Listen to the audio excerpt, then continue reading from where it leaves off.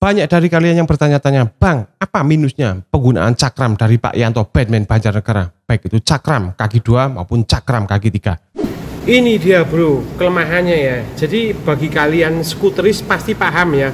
Di mana kalau fork 2 itu kan ada as rodanya di sini yang tembus ke sini ya. Tembus ke sini kan ya. Tapi permasalahannya bukan di sebelah sini, tapi di sini ya. Nah, seperti yang kalian lihat ini kan sudah modifikasi ya nah karena untuk asrodanya ini ketika mungkin kalian nanti akan menggantinya itu nggak bisa langsung PNP jadi asrodanya itu harus dipotong sepanjang kalau nggak salah 3 mili kalau nggak 4 mili ya sekitar 3 mili kalau menurut Pak Yanto seingat saya dipotong sebanyak 3 mili. Nah karena udah dipotong sebanyak 3 mili otomatis mataharinya yang buat nahan itu kan berkurang ya. Bergerigi itu ya. Kalian pasti paham ya kalau Asroda fork kaki 2 PX Excel seperti ini kan ada Asrodanya itu kan ada matahari ya bergerigi itu ya di sini ya. Mohon maaf nggak ada contohnya ya karena contohnya di bengkelnya masih boleh ya Nah, jadi ketika astroda di bagian matahari geriginya itu fungsinya kan buat untuk mengancing biar nggak muter-muter intinya ya. Nah karena udah dipotong 3 mili maka resiko untuk muter atau lepas itu lebih banyak. Nah maka dari itulah setelah dipotong 3 mili dibuat drap untuk dikancing seperti ini ya jadi itu repotnya. Tapi kalau menurut saya itu nggak repot ya. Nggak repot dan tetap worth it ketika dibandingkan dengan plusnya cakram ini bro. Intinya seperti itu ya. Nah kenapa kok ini harus dikasih baut harus didrat? Ya fungsinya untuk menahan ya. Karena udah dipotong tadi kan ya. Ketika udah dipotong 3 mili dan masih sisa sedikit otomatis daya cengkramnya berkurang untuk itulah dibikinkan drat dulu entah ini baut berapa ya ini mungkin baut 10 kalau enggak baut 12 ya. Terus dratnya itu fungsinya untuk dimasukin baut ini terus di ring untuk mengancing intinya biar lebih kuat andai kata misalnya pun kok kalian cuma memotong astroda tersebut sepanjang 3 mili tanpa memberikan tambahan drat seperti ini dan nekat tetap dipasang itu pun sebenarnya nggak masalah. Cuma memang lebih berisiko tinggi ya. Jadi lebih baik ya tetap menyesuaikan keadaan. Udah itu saja minusnya.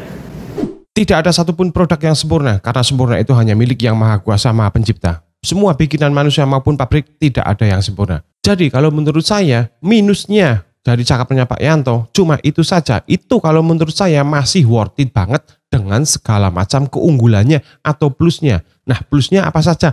Plusnya serasa menggunakan cakram motor Jepangan. Baik itu apa saja, pokoknya motor Jepangan yang menggunakan fork ganda maupun itu teleskopik ataupun upside wis enaknya seperti itu ya bisa kalian lost tang, bisa kalian jalan sekencang apa pun terus tiba-tiba direm nggak banting kanan atau kiri atau mungkin kalau kalian lagi udut-udut sambil ngerem dengan tangan satu itu juga bisa ya. Bodinya center posisi roda dan dasi atau body Vespa itu juga center. Wis pokoknya center semua lah ya. It, ini kok kelawer sendiri.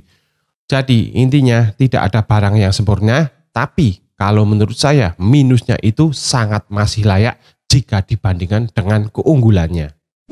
Ada satu lagi bro ya yang bikin minus sebenarnya ya yaitu penampilannya atau tampilannya ya. Jadi tampilannya jika dibandingkan dengan merek-merek lain gitu apalagi merek-merek impor gitu apalagi yang model-model PX itu kan tampilannya kan good looking banget ya dengan memakai tromol bintang sebentar ini kok angel temen dengan memakai trompol bintang wah itu itu kelihatan cakep banget Vespanya ya. Emang ora ora apa jenenge tak lah ya tak nang tampilannya kalah. Aduh intinya ya. Tapi sekali lagi saya bilang kalian pengen milih tampilan atau milih kenyamanan dan terutama keamanan? Ya dipikir dewek ya. Pikir dewek eh hmm, kalau saya sih mending ya jelas milih kenyamanan dan keamanan. Itu pasti dong. Nah kalau tampilannya oke cakep ya ibarat manusia ya. Wajahnya ganteng wajahnya cantik. Waduh. Tapi ketika ditumpai orang aman babar blas. Oh jebuli penyakitan biasa ibaratnya ngono lah aring ibarat membandingkannya kok ngawur banget ya kan ya pokoknya seperti itu ya. Nah, ya kalau saya sih kalau saya sih lebih prefer tetap kenyamanan dan keamanan lah intinya ya. Ini bahkan kemarin dicoba sama teman saya ya, di tempatnya Mas Ibul kemarin ya. Wah mengakui ya. Iya anteng. Anteng ya. Gitu jadi ya semua tergantung kalian lah ya. Intinya semua tergantung penumpang ya. Penumpang mau pilih angkutan yang mana mau pilih bus yang mana atau mau pilih truk yang mana monggo silakan penumpang yang memutuskan ya. Kalau saya sebagai penumpang pilih yang ini jelas intinya ya. Gila saya udah tiga bahkan kalau dihitung lebih dari tiga kali empat kali sebenarnya. Pertama kali itu dulu yang pertama kali bikin Pak Yanto itu masih eksperimen itu. Pak Yanto masih eksperimen hanya di, hanya ada tiga produk ya di Vespanya Pak Yanto Vespanya saya si Baenol terus Vespanya kalau nggak salah Warsito Banjarnegara ya. Ya itu hanya ada tiga produk itu kalau nggak salah ya. Itu aja dulu aja udah oke okay punya ya. Wes luar biasa lah. Oke sekali lagi ini bukan endorse ya. Nggak pernah di endorse oleh Pak Yanto oleh siapa pun ya intinya ya.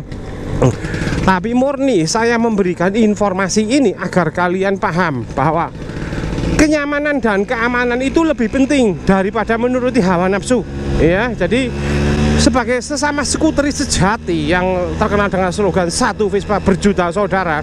Iya saya setidaknya walaupun saya tidak bisa menolong kalian ketika mungkin sedang mogok ya atau gimana gimana gitu setidaknya saya bisa membantu kalian memberikan saran yang baik dan benar. Karena itu ini untuk keamanan kalian ya. Kalau untuk kenyamanannya jelas nyaman. Tapi yang penting kan nyaman tapi kalau nggak aman gimana coba? Iya kan? Kan harus ada dua kan?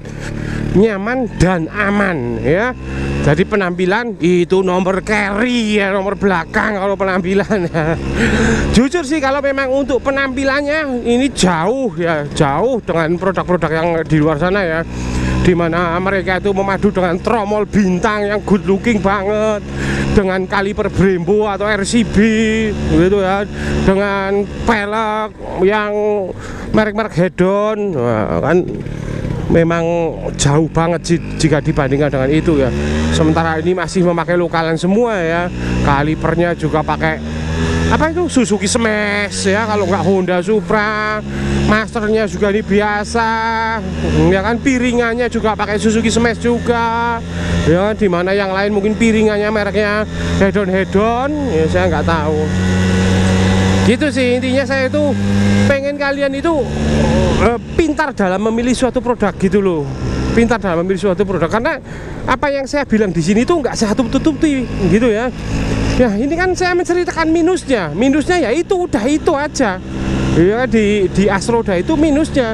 Dan itu memang bisa dianggap merepotkan bisa juga tidak merepotkan. Karena uh, bisa direpotkan jika ketika kita di jalan lagi touring. Wah dilalah asrodoni trouble gitu kan ya bermasalah.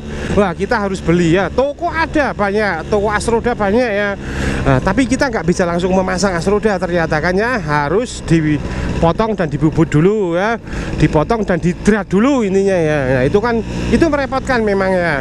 Nah tapi untuk mengatasi hal itu ada solusinya sebenarnya ya. Nah spare part Asroda itu kan bukan spare part fast musik, bukan fast moving, bukan spare part yang sering diganti, gitu kan enggak ya? Nah, spare part Asroda itu kan uh, pergerakannya kan pergantiannya kan lama ya itu kan bisa satu tahun lebih ya kecuali kalau kalian memakainya itu buat cross buat jalan bebatuan ya buat enduro nah itu kalau buat enduro nggak hanya cuma uh, satu tahun satu bulan sekali enggak itu setiap kali dipakai harus diganti gitu. Iya kan pemakaiannya buat enduro kok ya. Gitu. Tapi kalau pemakaian buat touring-touring jauh antar pulau antar provinsi selama jalan-jalan aspal kayak gini wah naon bro ganti nih bro. Benar naon baru ganti. Nah saran saya sebelum uh, ketika masih baru misalkan ya ini ketika ini porak ini masih baru ya cakram ini masih baru saya harus sudah menyediakan spare cadangan spare part dulu ya spare cadangan asroda. Nah gitu. Jadi persiapan nanti buat ke depan gitu loh. Wah nanti beberapa tahun lagi asrodanya udah mangsane diganti saatnya diganti eh saya udah punya ya kan? Saya udah punya asroda cadangan. Gitu. Ngakal ini kayak gitu terus nanti ketika yang cadangan udah dipakai ya udah kamu beli satu lagi buat spare lagi buat cadangan lagi buat next ya kan? Ini spare part ini hancurnya itu naon bertahun-tahun ya. Kecuali yang tadi saya bilang kalian pakainya di jalan gembronjal buat off road buat uh, enduro ya itu udah beda cerita gitu ya jadi paham ya. Saya selalu memberikan opo anane. Plus ya plus minus ya minus. Intinya seperti itu. Tapi minus ini kalau menurut saya masih sangat-sangat worth it. Worth it layak ya. Jika dibandingkan dengan plusnya ya masih sangat layak. Kalau bagi saya nggak merepotkan sih kalau bagi saya sih Hmm, gitu. Biar kalian pintarlah dalam memilih spare part itu nggak asal beli. Ya memang memang. Banyak pak. Bagus kok. Produk-produknya itu bagus-bagus kok. Bagus-bagus. Saya akui bagus-bagus produk di luar sana itu bagus-bagus. Tapi entah kenapa saya sebagai penumpang cenderung milih yang ini. Intinya gitu. Oke wis. Mungkin daripada videonya kepanjangan karena saya banyak bacot akan saya akhiri dulu video sampai di sini. Dan jangan lupa jika kalian memiliki video-video seperti ini jangan lupa di like, share, komen dan dan sekarang ini motovlog atau antar motor pesat cicikat walah. Agi ya. Kenapa teh brong wor wor. Nah jak nang kene bengeten banget rasane. Aduh